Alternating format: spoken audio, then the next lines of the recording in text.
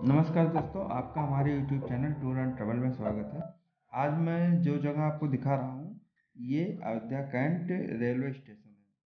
तो आइए हम बात करते हैं अयोध्या रेलवे कैंट के बारे में।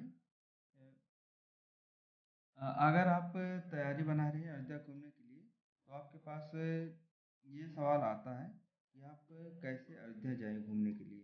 मान लीजिए आप दिल्ली से हैं या पश्चिम बंगाल आप हरियाणा से हैं, किसी भी स्टेट से हैं और आप चाहते हैं कि आप अयोध्या घूम या आप उत्तर प्रदेश में हैं, लखनऊ से आना चाहते हैं या गाज़ियाबाद से आना चाहते हैं तो आपके एक जहन में सवाल उठता है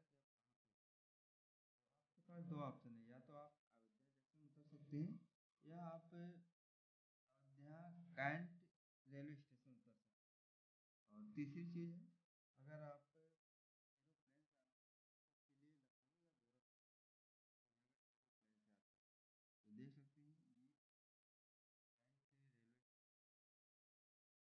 जिसका कुछ माह पहले जो है नाम था फैजाबाद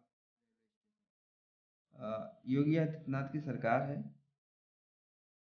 तो उन्होंने इसका नाम चेंज कर दिया है। तो देख सकते हैं, ये रेलवे स्टेशन का जो है सीन है और ये टिकट घर है। जहाँ पे पहले टिकट मिलता था, अभी भी मिलता है। एक दो पैसेंजर ट्रेन जो चलती है, उसका मिलता है।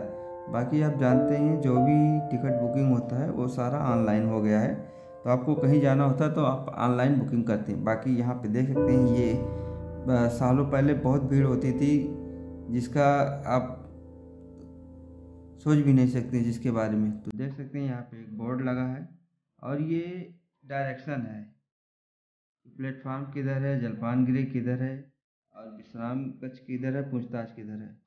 और ये है रेलवे स्टेशन का बाहर का सीन जहाँ से लोग आते जाते हैं।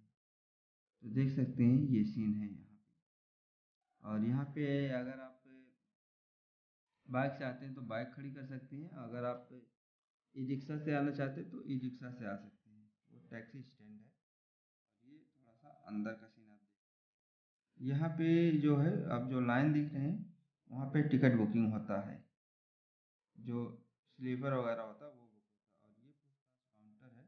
यहाँ पे देख सकते हैं, गाड़ियों के आगमन के